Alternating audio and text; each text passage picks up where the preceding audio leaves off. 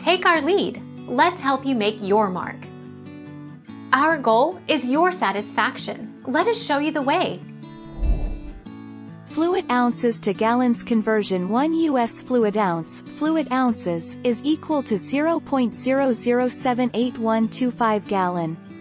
To convert fluid Oz to gallons, multiply the fluid Oz value by 0.00788125 or divide by 128.